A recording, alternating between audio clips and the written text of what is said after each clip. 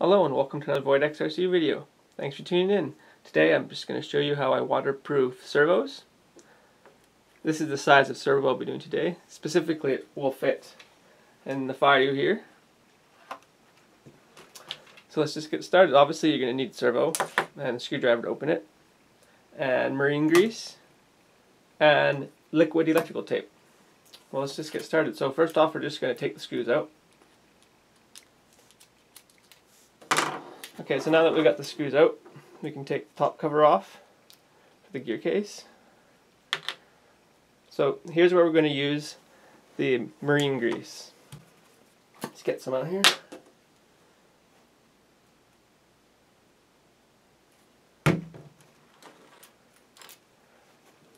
So you, you're going to want to get the most amount of grease around the servo horn, but you don't want to put too much grease because it will end up um, clogging the system up and won't work properly.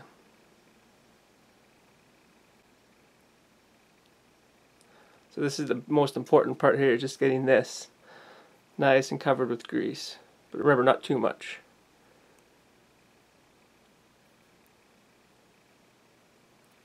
You're going to want to add a little bit more grease to some of the other pieces too.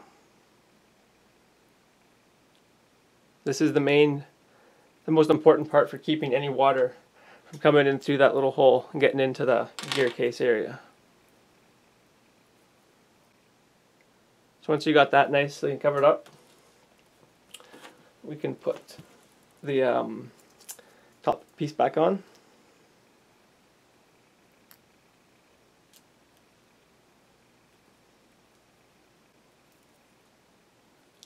So now I'm going to take the bottom cover off. Here's where we're going to use the liquid electrical tape. Uh, I've, some people like to use a silicone here and they like to just fill up the inside here with just silicone everything. That works good too. Um, I just use liquid this let's try that again. Liquid electrical tape. Is what I have and it's easy to get. So you want to just make sure you stir it good before you use it. And we're just going to cover the circuit board on both sides as much as possible and the electrical tape.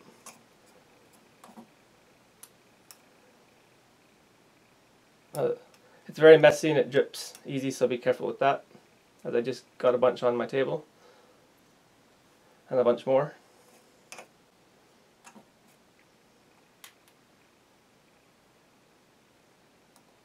It's going to be a little bit hard with these smaller servos to get in everything properly 100% covered so you just got to take your time and really make sure you, you work the electrical tape into the little cracks and whatnot.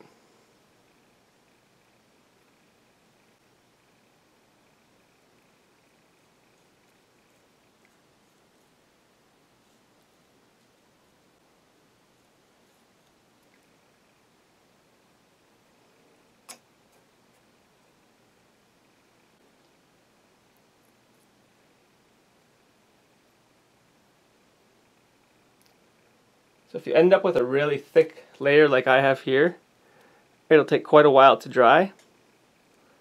So what we'll, you want to do is just let it dry before you do anything else. Or mostly dry. And make, make sure you st it still fits back in the little spot, spot quite well. Like that. And then what we're going to do is we're going to close it up now. And before we tighten the screws all the way, I'm going to add a little bit more of this electrical tape just around the screw, just like this.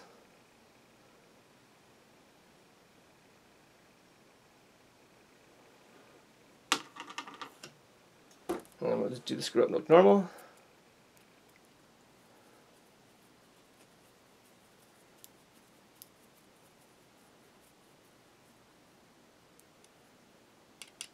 you can see it's all nice and covered on that one screw I just did. So we'll just do, we'll just do those for the rest of the screws too.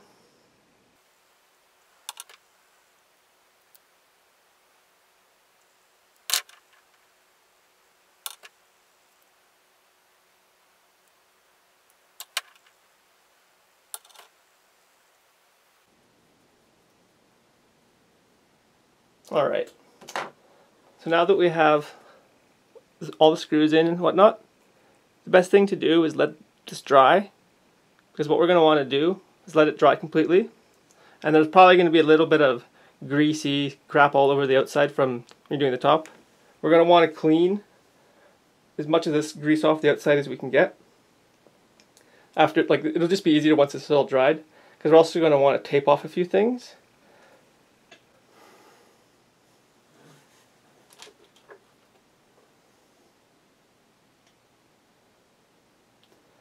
So while this servo here dries, I'm just going to show the last step with this other servo here.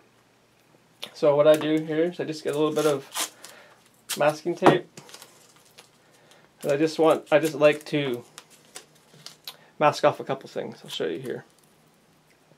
First thing I do is I just put a little bit around the mounting brackets just because it's nice to have them clear for when you're mounting it. It's just much easier obviously.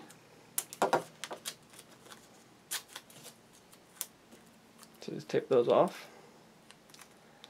And then the other piece we want to tape off is servo horn, so because we don't want to be electrical taping that all up.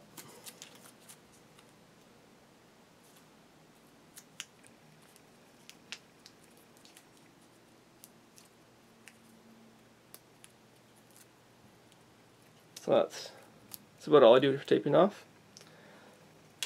Then back to the liquid liquid.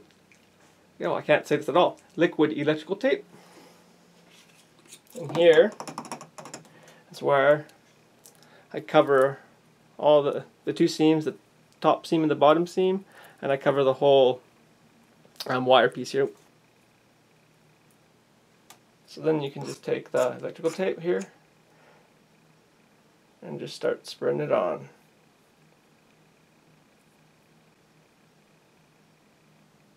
Definitely doesn't look the best with just, you know, this black crap spread all over it, but it, it works.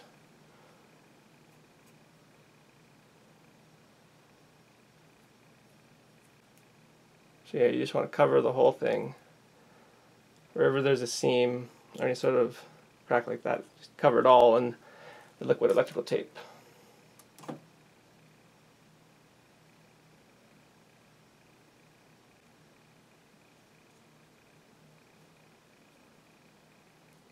Just cover the bottom of this one anyways here too.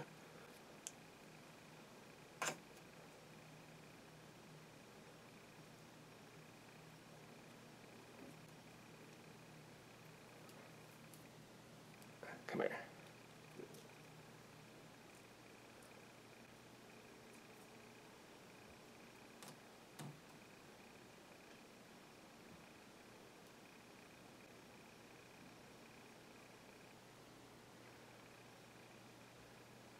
So there we go. That's how I like to waterproof my servos. As you can see, it's got a nice coat on the outside. Should keep all should keep all the water out. But we do have all the electronics on the inside coated too, so well, I hope you guys enjoyed the video. Thanks for watching, and I'll see you guys next time.